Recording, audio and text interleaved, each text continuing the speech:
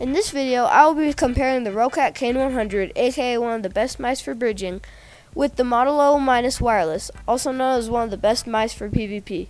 I own both of these mice and have used them both for more than a year now, and I can tell you that they are both very good mice. This video is for people trying to decide which mouse to get. I will test things like CPS, bridging, and more. Both of these mice have different versions, like the Model O Minus has the Model O, Model D, Model D Minus, and all the other wireless ones.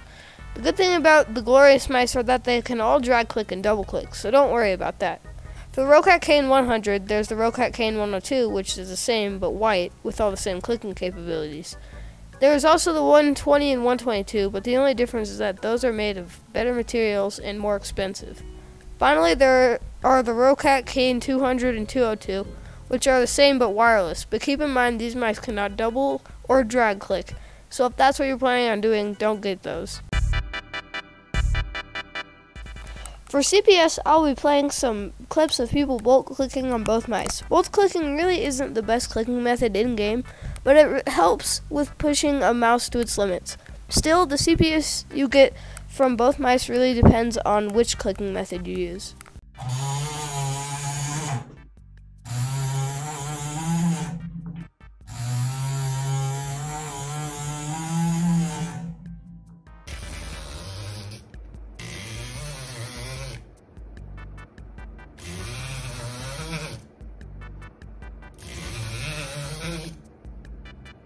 As you can probably see, the Model O can reach a CPS of over 150, while it seems like the Roccat Kain has a cap of around 60. So why don't pro bridgers just use the Model O? Well, that's for two reasons. Reason one is because of how consistent the CPS on the Roccat Kain is compared to the CPS on the Model O.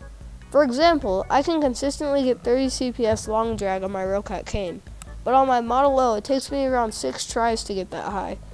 Reason two is that in Minecraft or really any other game, you don't need more than 40 CPS. Anything above that is just a flex.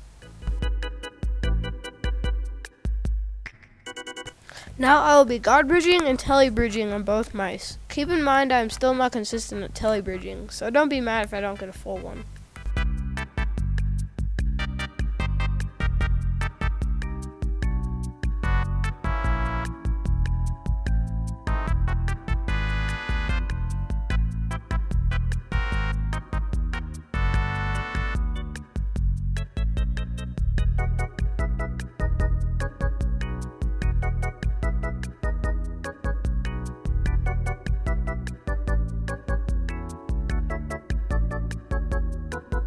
As you can see, both mice can do both bridging methods. However, God bridging is much more consistent for me on the Roccat Kain due to the fact that the mouse feet keep the mouse in place. This is good because I don't hold my mouse while I God bridge. With the Model O, however, the mouse feet were too good. They glided way too much, causing me to have to rest my palm on the back of the mouse to keep it in place. Now on to tele-bridging. For tele-bridging, I actually am split. On one hand, the drag click on the Roccat Kain felt much more consistent, but the Model O mouse feet kept made it easy to move my mouse while tellying. So if you're trying to telebridge, it all comes down to preference. Also, for the texture, the Model O doesn't have a very good texture, so I recommend using either masking or electrical tape. The Roccat Kain has a pretty good texture, but it, this does wear off, so you'll have to use tape eventually anyway. Now onto PvP and I'm going to give you the conclusion straight up the Model O. This decision is because of Minecraft PvP, being able to aim fast and accurately is crucial. The Model O weighs 69 grams, nice, and the Roccat Kain weighs 89 grams. While I don't notice the difference that much, I do notice how well the Model O glides in comparison. Also, the ambidextrous design of the Model O fits my hands way better than the Roccat Kain, given how I have freaking baby hands. Really, I'm not the one you guys should be listening to about PvP, as I'm barely past an absolute noob.